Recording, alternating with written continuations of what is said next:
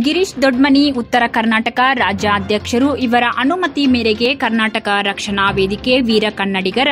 ಘರ್ಷಣೆ ವೇದಿಕೆ ವತಿಯಿಂದ ಬೆಳಗಾವಿ ಜಿಲ್ಲೆ ಹುಕ್ಕೇರಿ ತಾಲೂಕಿನ ದಡ್ಡಿ ಗ್ರಾಮದ ಶ್ರೀರಾಮಲಿಂಗೇಶ್ವರ ಭವನದಲ್ಲಿ ನೂತನ ಅಧ್ಯಕ್ಷರು ಹಾಗೂ ಸದಸ್ಯರನ್ನು